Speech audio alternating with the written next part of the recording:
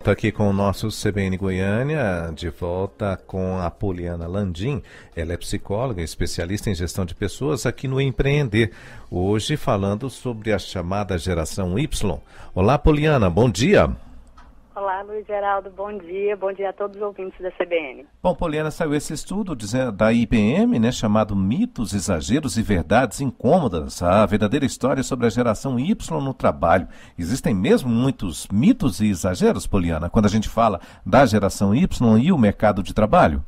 Com certeza existe. Eu acho que essa discussão sobre geração, ela começou principalmente com a advinda da geração Y para o mercado de trabalho e aí, justamente porque era um assunto novo, as pessoas começaram a exagerar algumas características da geração Y, o que ocasionou muitos mitos, né? Que as pessoas acreditam que aquilo é 100% de verdade, como se toda pessoa dessa geração trabalhasse da mesma forma.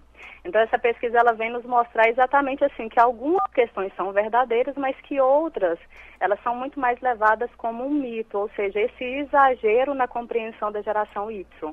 Então, eles têm muito a agregar, muito para trazer para o ambiente de trabalho. E essa questão dessa reflexão há muito tempo faz com que algumas empresas até tenham preconceito contra os trabalhadores da geração Y, justamente por acreditar que esses mitos sejam verdades. Até ia perguntar isso para você com relação a, a, esses preconceitos que também eles foram é, se incorporando nesse mercado de trabalho diante até talvez dessa dificuldade de, de entender o que está acontecendo ou o processo né, de, de mudança no próprio mercado de trabalho, que talvez nem tenha nada a ver com a geração A, B, C, D ou Y, né? Perfeito, Geraldo, é exatamente isso. Então foi se acreditando que algumas questões que às vezes eram do mercado em si, do movimento em si, da atualização que é necessário no mercado de trabalho, foi se agregando muito à geração Y. Como se tudo aquilo ali fosse culpa da geração, mas como você bem disse, às vezes era um movimento do mercado em si.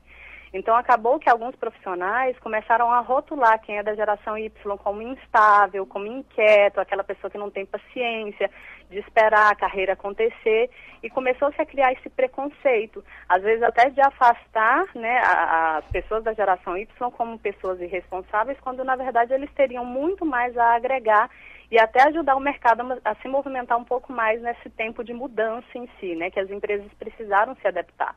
Então, eu acho que aí acabou é, existindo uma discussão exagerada, principalmente em torno da geração Y, quando na verdade seria, teria que ser uma discussão, como você disse, né, não de A, B, C ou, ou D, nenhuma das gerações, mas como integrar e como aproveitar melhor o que cada geração tem para trazer para o mercado de trabalho o que cada geração pode contribuir. Então, muito mais uma reflexão relacional do que em si uma, uma rotulação que poderia ter a respeito de uma geração X ou Y, ou seja qualquer geração que, que for.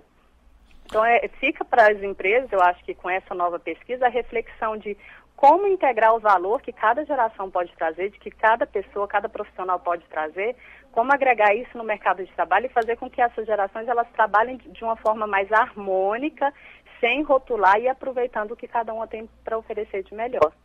Poliana, muito obrigado mais uma vez pela sua gentileza em nos atender. Um bom dia. Bom dia, eu que agradeço o convite.